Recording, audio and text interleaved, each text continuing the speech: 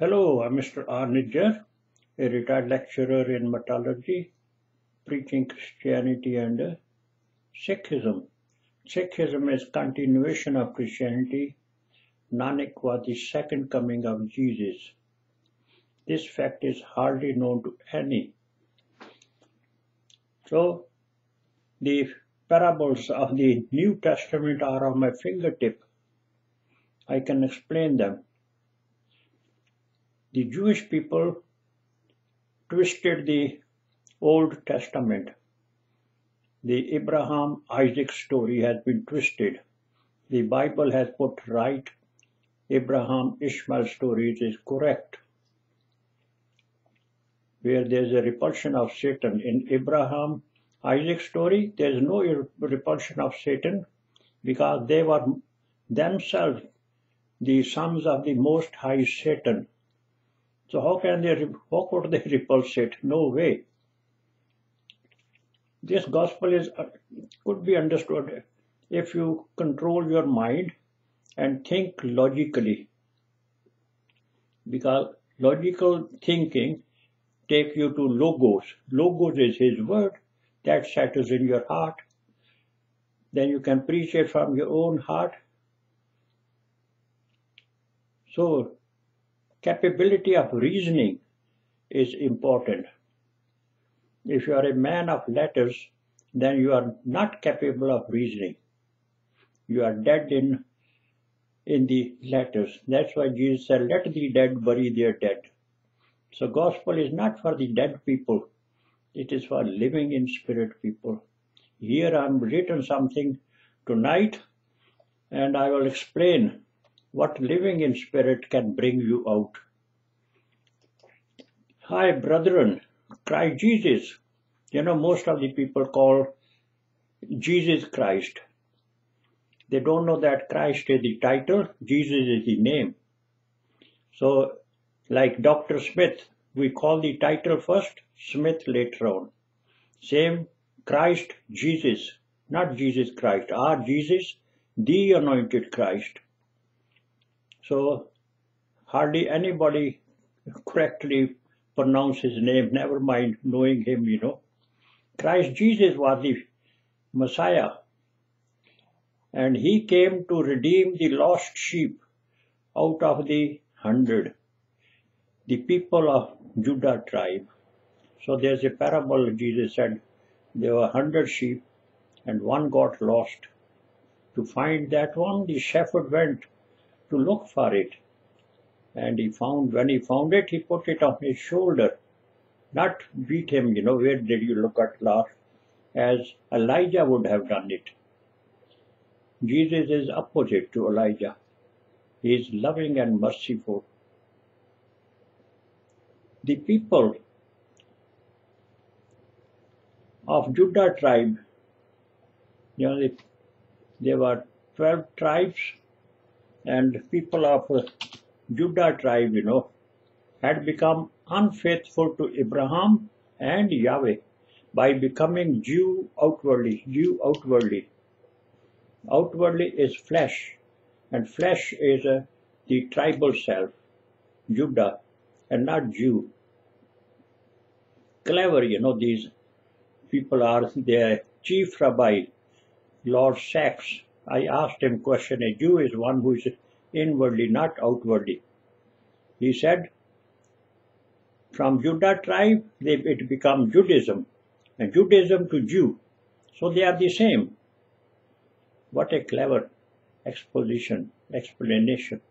I, I was laughing, you know, but they were university, I, it was in Oxford University, and there were about 60, 70 university professors sitting there. None of them, you know, say anything because they were dead in spirit. Sorry, they were dead in letter, you know. They read the letters and that's it. They, it killed them. Old wine. When they get drunk with the old wine, they desire it's not the new. So the old wine, anybody can give them, they will take it. Because they have they are dead, spiritually dead. So you need to be living in spirit. I'm lucky to be a retired lecturer in metallurgy, metals. not studied theology in the university or anything. So no old wine is inside me. So I learned it through logical reasoning. My father has this gift, you know, of logical reasoning. He passed it on to me. So the clever people of Judah tribe, being well versed in the written Torah, dominated the temple as Jews outwardly from from Judah to Judaism to Jew. That is how they became Jew, you know. Jew is a spiritual self. A Jew is one who is inwardly, not outwardly, as Paul has stressed. It's a spiritual self and by becoming outwardly of flesh or tribe Jew, they renounced their own Judah tribe. And by doing so, they became the sons of the Most High Satan Al-Jamar Al-Aqsa. When you go to the Hajj, there are three pillars of Satan.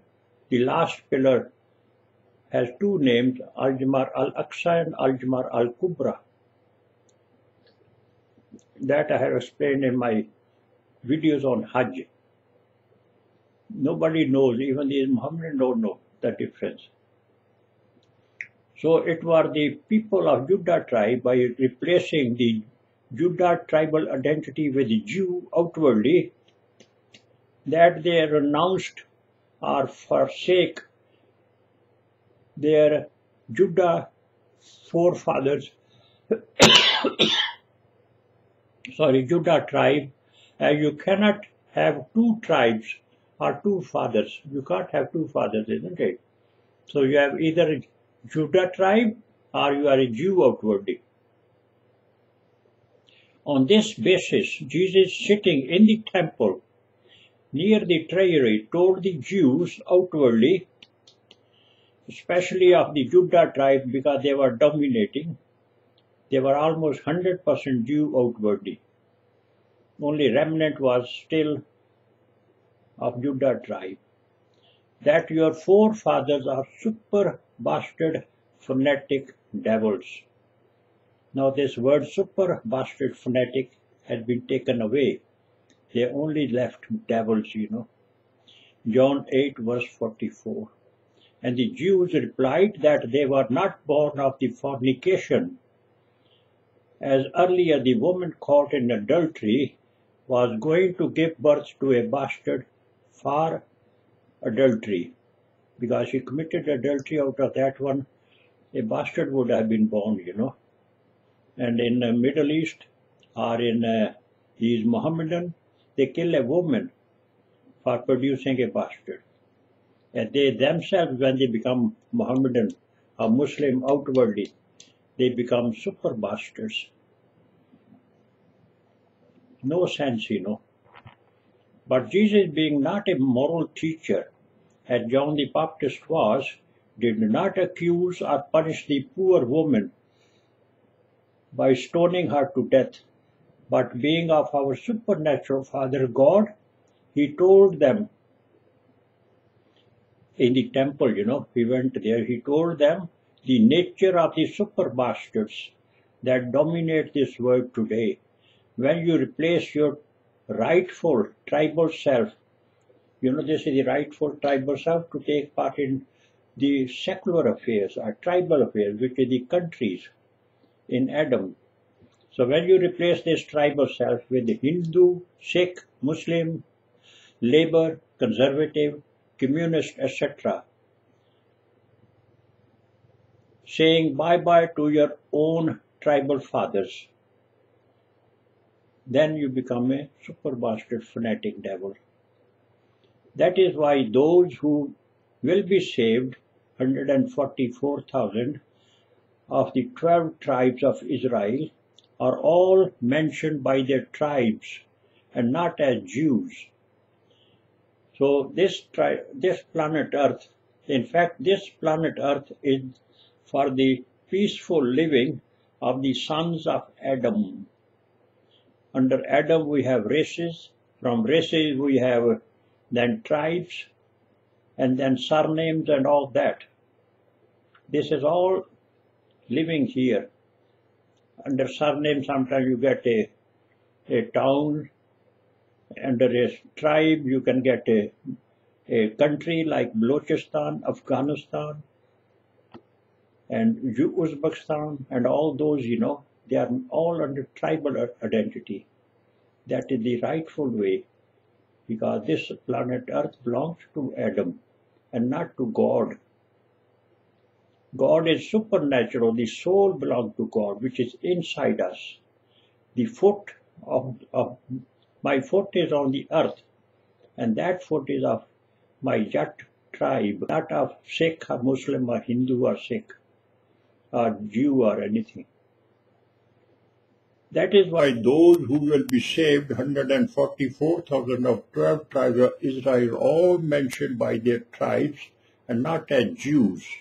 In fact, this planet Earth is for the peaceful living of the sons of Adam called sons of man, and not for the super bastard fanatic devils, Hindu, Sikh, Muslim, Jew, etc. Chosen people are a nation of priests. Remember, they are well known. They are nation of priests because, eh, because Abraham was planted by Yahweh in the Middle East to give you an idea of Adam and Eve living in the beginning. So this promised land is a new earth in which the planted by Yahweh at Abraham and Sarah as Adam and Eve and then through the, their generation, our Father God preaches us, or Yahweh, Brahma, Khuda we call him, teaches us the moral laws, how to behave. Remember when Joseph was sold to Egyptian, the other 11 crook brothers wanted to kill him. So other 11 crook brothers had no sort of Abraham in them. So when they had no sort of Abraham in them, they, have, they were not faithful to Abraham. That's why Christ Jesus said to his laborers that you are the salt of earth, that you are sons of man, because John the Baptist, when he baptized them, he baptized them in the name of Abraham.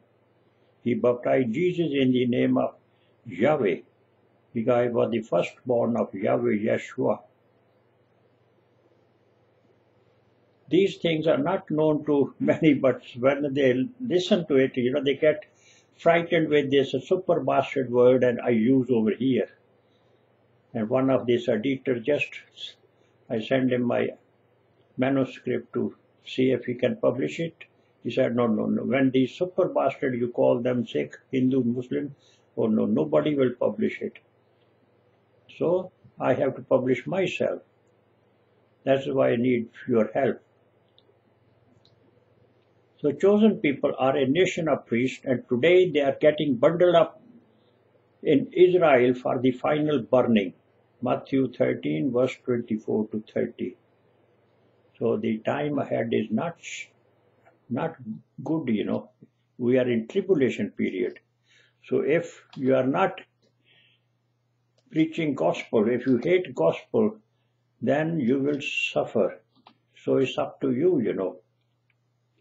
So the second coming of Jesus was Nanak of the Punjab.